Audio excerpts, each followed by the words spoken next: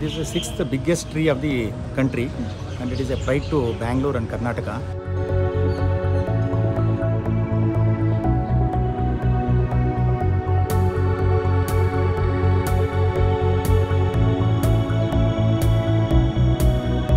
Actually, expert says it happened because of a natural calamity.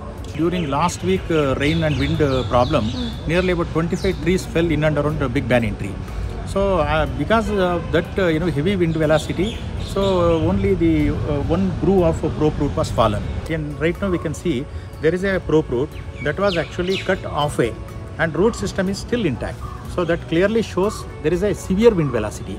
And uh, experts actually suggested to take few recommendations that will be duly taken by the horticulture department to uh, conserve this uh, big banyan tree for futures.